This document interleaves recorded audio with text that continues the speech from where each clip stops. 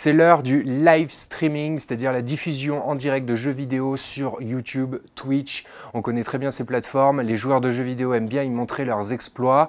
Et euh, aujourd'hui, on est à l'heure euh, surtout de la diffusion en Full HD, 1080p, à 60 images secondes, c'est-à-dire une vidéo très fluide qui permet au spectateur de bien s'immerger euh, dans le jeu qu'il est en train de regarder. Il était donc grand temps de tester ce minuscule boîtier Elgato Gaming HD 60 qui permet justement de streamer en Full HD à 60 images secondes sur YouTube, sur Twitch, avec un système de branchement très simple. D'abord, il est auto-alimenté par USB, donc on va le connecter à un ordinateur en USB et il va juste se brancher sur la sortie HDMI de la console juste avant l'entrée HDMI euh, de la télé. Donc il va intercepter le signal HDMI alors on l'a testé pendant bien longtemps. La première chose c'est que euh, ce petit boîtier ne rajoute pas de retard d'affichage entre la console et la télé. Donc c'est très bien pour euh, les joueurs très exigeants et de très haut niveau qui veulent streamer leurs exploits sans avoir sans être handicapés par un retard d'affichage qui serait provoqué par ce boîtier. Il n'y en a absolument aucun pas un seul milliseconde de retard d'affichage, donc ça c'est une très bonne nouvelle.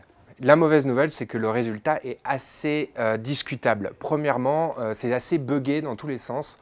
Euh, le logiciel est plutôt bien fait en termes d'interface et d'ergonomie, mais on a eu beaucoup de bugs, notamment au niveau de l'interface USB, de la reconnaissance du signal, de la configuration du flux vidéo. Surtout que la qualité de l'encodage vidéo en sortie est très médiocre. Alors elle se fait par le processeur de l'ordinateur qui va recevoir le signal.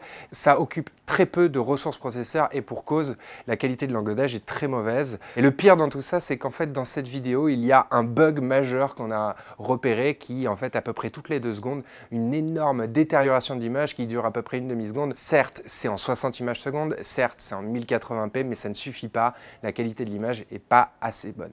Donc voilà, pour 180 euros, ce boîtier est plutôt encourageant euh, parce qu'il est simple d'utilisation, qu'il a quand même beaucoup de potentialité, mais le logiciel est encore trop buggé, la qualité d'encodage n'est pas assez paramétrable et elle est trop médiocre pour l'instant. Il faut aussi de la qualité d'image tout au long de la diffusion de la vidéo.